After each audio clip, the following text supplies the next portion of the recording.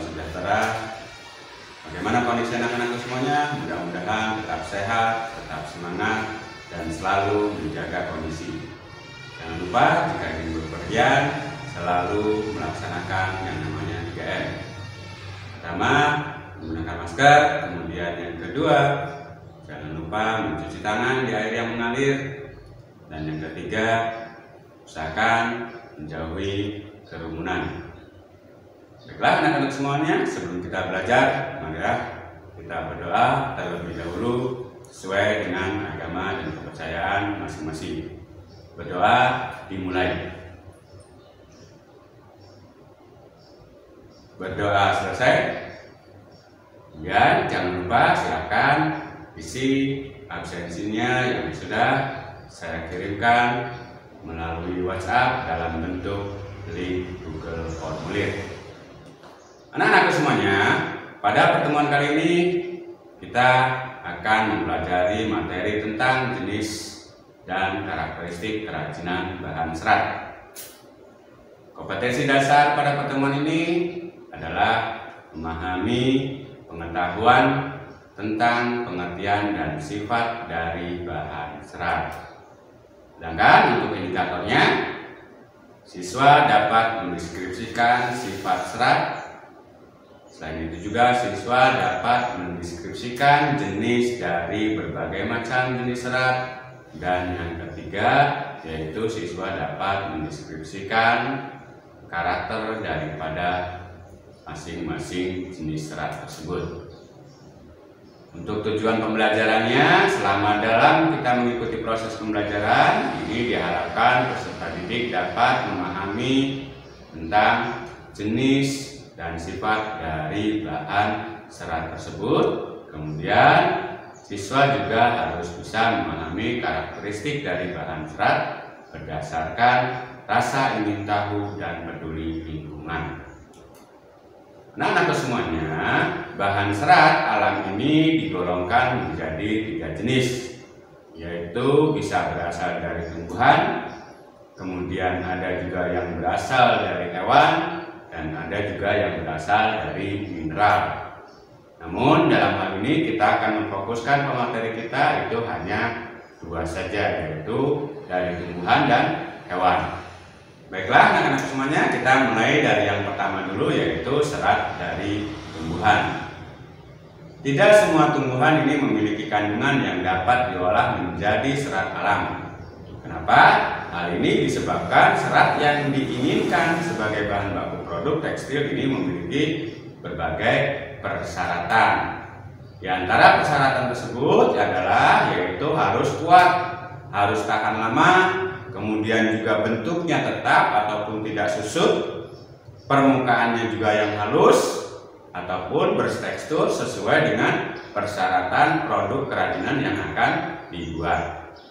Nah, kita bahas di dalam jenis daripada serat tumbuhan tersebut. Yang pertama yaitu serat dari biji.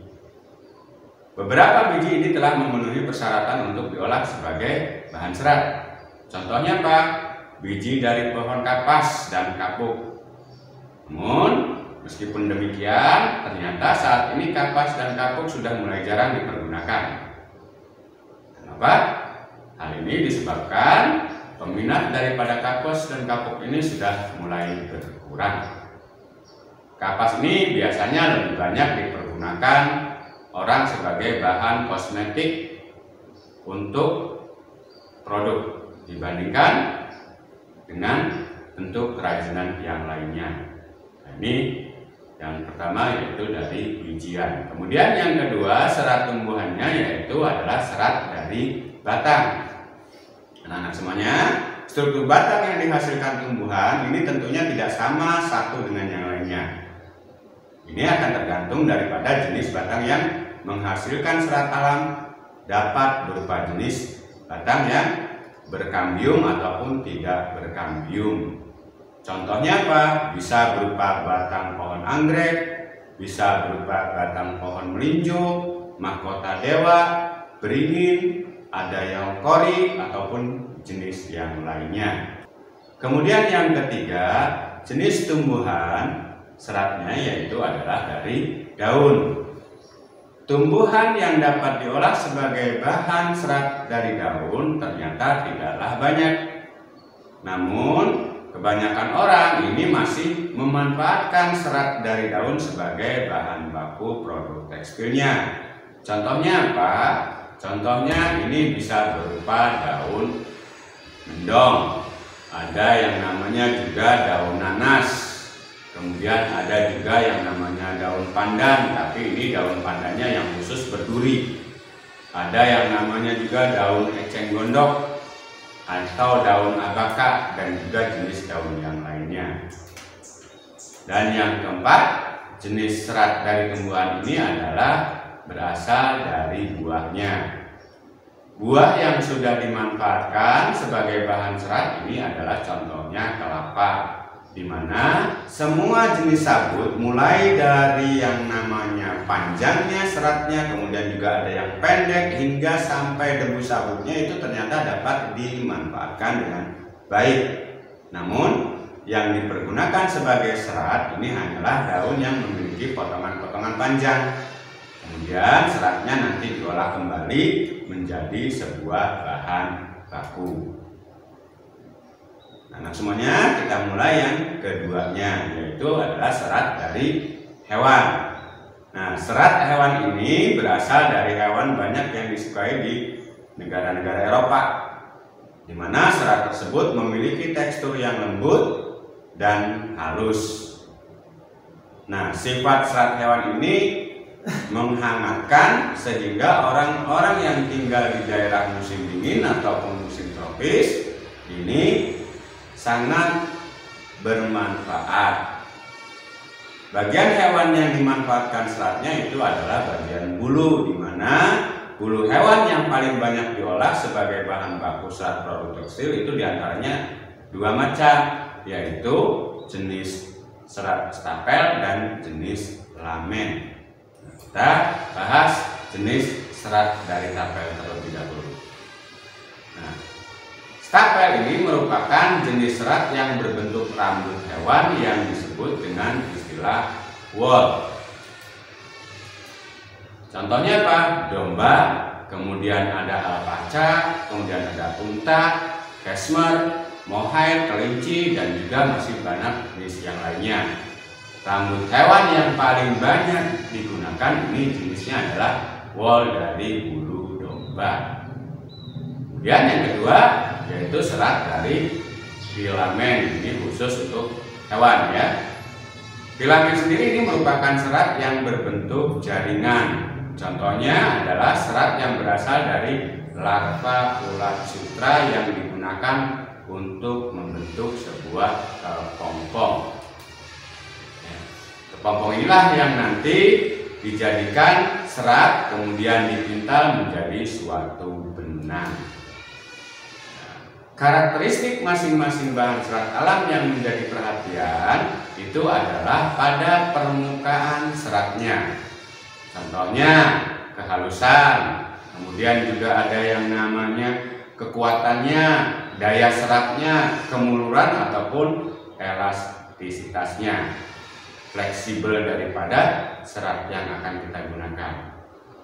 Nah, bahan tekstil dari selulosa ataupun kapas ini ternyata memiliki beberapa karakteristik. Karakteristik dari kapas ini yaitu bisa berupa bahan terasa dingin dan sedikit kaku. Kemudian mudah kusut, mudah menyerap keringat, namun rentan terhadap jamur dan mudah terbakar. Ini jenis ataupun karakteristik daripada jenis kapas atau leluasa. Ya, ciri-cirinya.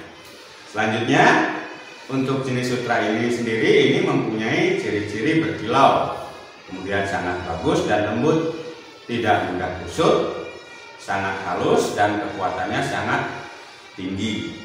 Selain itu juga tidak mudah berjamur dan mudah terbakar. Nah, sedangkan untuk serat wol ini ternyata mempunyai ciri-ciri lebih kuat, tidak berkilau namun keriting, di mana elastisitasnya sangat tinggi dan merupakan penahan panas yang sangat baik. Selain itu juga tahan terhadap jamur dan bakteri. Nah itulah beberapa jenis ataupun karakteristik daripada jenis serat yang sudah saya sampaikan. Nah, sebagai kegiatan penutup, kita bisa menyimpulkan bahwa setiap jenis serat tertentu ternyata memiliki karakteristik ataupun ciri-ciri yang berbeda.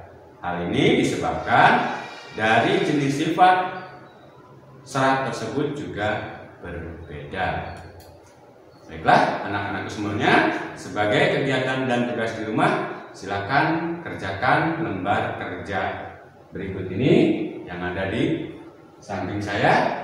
Silakan yang pertama temukanlah beberapa jenis serat yang terdapat di lingkungan sekitar anak-anak semuanya. Kemudian deskripsikan ataupun ciri-cirikan manfaat daripada bahan serat tumbuhan yang ada di lingkungan sekitar. Nah, silakan bila perlu nanti dipresentasikan hasilnya di muka kelas ataupun melalui Google Meet-nya. Nanti silakan dituangkan melalui lembar kerja yang ada di samping ini, ya. Silakan. Nah, sebelum kita akhiri pada pertemuan kita hari ini, marilah kita berdoa sesuai dengan kepercayaan masing-masing agar apa yang kita peroleh pada pembelajaran hari ini bisa bermanfaat. Berdoa dimulai. Berdoa selesai. Assalamualaikum warahmatullahi wabarakatuh.